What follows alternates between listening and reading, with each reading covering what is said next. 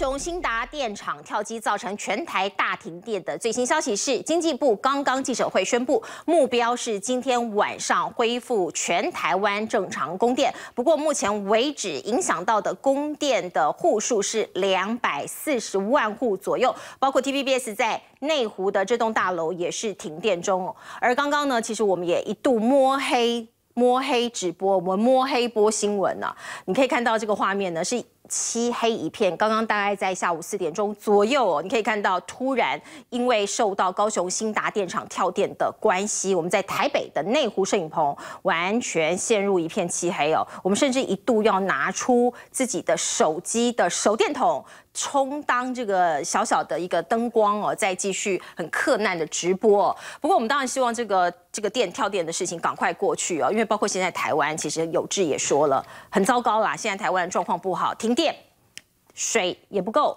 另外呢，疫情又死灰复燃，疫情看起来又卷土重来了。包括我们刚刚为您插播的，今天呢，指挥中心已经宣布了有二十五例新增病例，其中十三例是本土的病例。而这个本土病例，其中又以万华的这一桩群聚的案件案件呢，非常的这个严重哦，看起来是相对严重的，因为已经有二十个人已经染疫了。而指挥中心呢，也框列了包括在台北市万华这里的，呃，东边康定路、南边和平西路三段。西边到梧州街，北边到桂林街哦，这一个框列出来的区域哦，如果过去呃从四月十五号一直到现在，如果你在这个区域曾经活动过，如果你有发烧、流鼻水或是相关的症状，要立刻跟指挥中心来联络。来，斌哥，其实今天大家如果看那个防疫中心的记者会的时候，现场就有记者说，那我也收到那个你们通知的六十万简讯，那请问一下是这样，是我也有，我有什么意思吗？其实我就想到，因为我以前在中石啊，中石刚好就在大理街那边，就在这个框列的范围内，所以所以中石的很多人都在那附近晃来晃去，大概那边一堆都收到了。嗯，那当然了，这个你收到简讯，并不代表你有去过或你有危险，只是说叫你要注意。嗯，然后如果你你身上有什么不舒服或什么东西，或是你真的有去接触这些东西，你赶快到去呃防疫指挥中跟防疫指挥中联系，或者相关的诊所联系，这是很重要的。大家也不要过分的惊慌。可是我必须讲，你现在我刚刚已经讲过了，你现在是要回溯到四月十五号哦。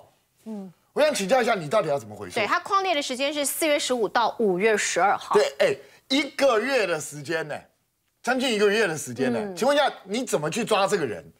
在那个附近，你要知道这这个地方虽然它是一个老老街区哦，可是外地来的人其实也很多。那你怎么样去掌握这些人的行踪？那你为什么要去追溯到这么久的时间？是不是你怀疑这个病毒早就已经在流窜，只是你现在根本抓不到源头，所以只好这样扩大去筛检。那不管怎么样啊，因为台湾过去我们都知道，过去这一年多天佑台湾，很多看起来应该是有病毒，包括潘石建，明明看起来就像一个在练鼓一样的地方，到最后大家都没事，连男女朋友之间都没有事。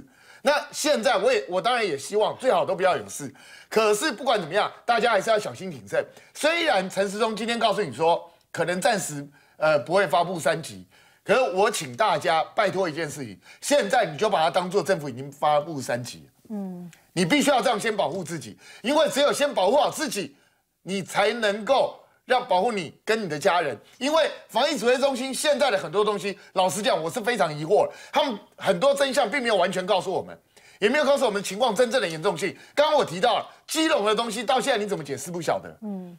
然后呢，基隆的这个现在他已经到中南部去参加了很多旅行团，当然未必有散步。可是陈其迈知道的第一个反应居然是他要去追查到底谁泄露。嗯。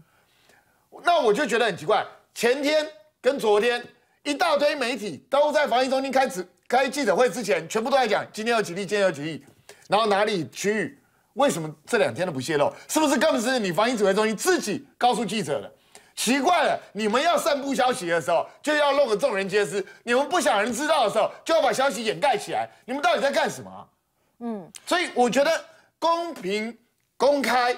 把所有的讯息告诉所有的县市，不要只告诉你自己执政的县市，不执政的县市你就讳莫如深，什么都不讲，这是完全不正确的一种做法。因为其实包括呢，在万华的这个茶店的从事茶店工作的这个女子哦，她也曾经到嘉义去上香哦，可能那时候有妈祖啊各方面的民俗活动，她也曾经到妈祖去进香，她足迹其实在中台湾中南部都有哦，包括彰化、云林、台南都有哦，所以我们知道有些城市啊哦已经超前部署了，都在消毒，可是我真的很怀疑，像这样消毒到底有没有效？看起来只是亡羊补牢而已啊。消毒，从从我跟你讲啊，从登革热哈就已经有工位专家出来讲过了。你们看到这样的动作都是安心作用的。嗯其实真的对消灭蚊虫，这个不会是第一治本的方法，因为你你知道吗？光这样子钳子，这是有排挤效应的。你把蚊子从室内赶到室外，从室外赶到室内，你在室外喷，那蚊子会不会躲？蚊子也是要求生的嘛，它就会找地方去乱窜，不见得是好事。这是这是对登革热的，对病毒，你觉得都已经是四月十五号框列到现在的，如果病毒现在还在还在桌子上，哇，那我跟你讲，今天就不是二十了啦，我跟你讲，今天就是两百了啦。这不这个动作，你就有什么太大的意义？我们不需要这些。我说实在的，斌哥讲的太好了，我甚至觉得陈志忠你也不用浪费时间，每天在那边板子一粒、两粒、三粒、四粒。真的不用了，你去 Coco 姐节目讲就好了，或者把把资料直接给 Coco 姐，Coco 姐帮你念还比较快。你应该花大一点的力气，让我们适宜把所有你未来的路跟走向，整个防疫的工作，我想看到的是这个。你是指挥官啊，你不是打地友啊，你不是 TV 啊，你你不是这个功能嘛？你每天在搞这个，那为什么签字？我们做媒体人都知道嘛，带风向嘛。嗯，他把这些足迹啦，这些这些内容呢，然后就会开始有什么？我们乱传，今天最红的话是什么？人与人的连接。对，人与人的连接，因为陈世忠刚才我们也为您播播了这个桑浪，人跟人，茶室女跟狮子王的连接。啊，今天是网络最红的文字。对对。啊，有人去关心疫情吗？有人去关心后面的真相吗？Who care？他只要带一个风向，整个就往那边去，然后老百姓呢就忘了后面有很多东西的问号，嗯不记得了。嗯，我不要这个，陈世忠不要去做这些事了。你贵为指挥中心指挥官，你应该要去整个大方向告诉我怎么做。嗯，甚至我都觉得你到立法院都还比到这边这个念数字来的重要的。是我们的政府一直告诉我们说，有政府请放心，有政府请安心。甚至蔡总统还说，不要相信假讯息，只要相信政府就可以了。可是哦，人民哦。民间的动作其实是很诚实的，从哪一些方式可以看出明星到底多诚实？从昨天开始哦，大卖场哦，所有的人，很多人不能说所有的人呐，我知道有大部分的人跑去哦，这个强买什么酒精口罩啦，哦，包括这个卖场啊，去购物的人呐，排队排成好几圈的，你可以看到，光是这个进场、入场、结账的这样排的这样密密麻麻的，你看到这个货架哦。就一般的卖场的货架上头的泡面啦、罐头啦，又来了，又被抢了一一，全部被扫光，全全部部被扫光。你看这个都被扫光了啊！你可以看到有网友哦记录下来他们家附近的超商或者是一一般的这个卖场的状况哦，看起来好像经过什么样的劫难一样哦，全部被洗劫一空啊，全部都被扫光了哦。泡面也是，这在新北哦。新北因为有出现的也是好几例哦，所以呢就出现了抢泡面大战，甚至于还有人大打出手呢。因为有某一些口味比较受欢迎，甚至大打出手。所以这个是不是就是人民哦用行动来告诉你政府说，哎，我可能不是这么放心哦，哎，我可能不是这么相信哦，哎，我可能觉得哦还是自保比较好。其实老实讲啊，台湾的防疫到今天为什么做的这么成功？老实说，就是因为民众超前部署。嗯。我们的民众一直都在超前部署，大家根本不是很相信你政府讲的话，大家先保护自己，所以才能够守住。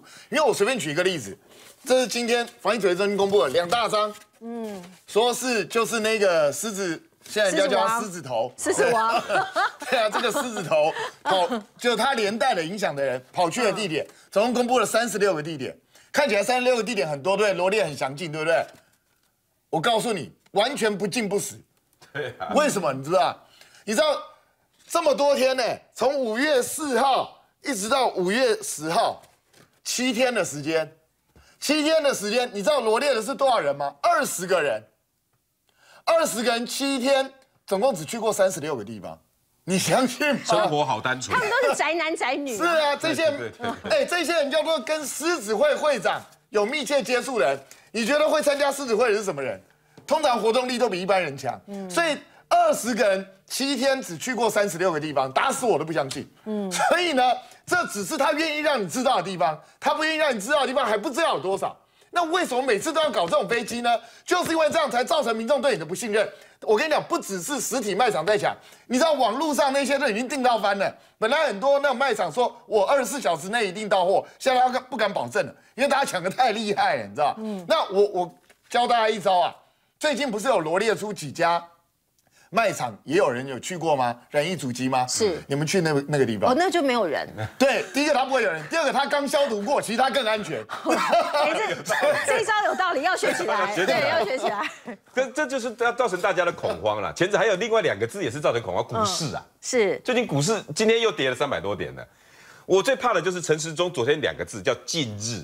对不对？他本来第一时间说第三集本来哇要要宣布了，今日要本来我们听成说今日要宣布，对，就后来他说啊，唔是我公唔丢公近日啦。我讲，你讲近日了，你的恐慌恐慌啊，你买了几拜公无，大家就会安心的去做自己的事。啊，不你几拜公无，大家就就就死心了，就是这样。啊，我我我就就发生这个事情啊，你心里搞公近日，嗯，近日会造成什么结果？今天恐慌，明天恐慌，到底什么时候你要给我痛快的一枪？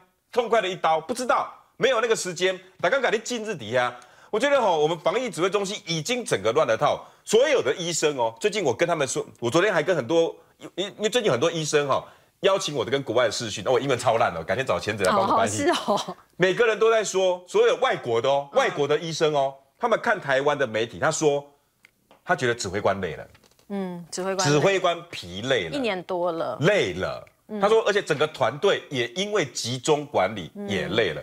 陈志忠，你想一想吧。嗯，好，新达电厂呢，这个大停电呢，导致了两百四十万户呢受到了影响，这个影响的这个规模直逼八一五大停电。新兄朋友，今天下午两点三十七分的时候，您的手机有没有响起呢？没有错，高雄的新达电厂因为跳电不明原因哦，所以呢影响了我们全台湾两百四十万户的用电，包括。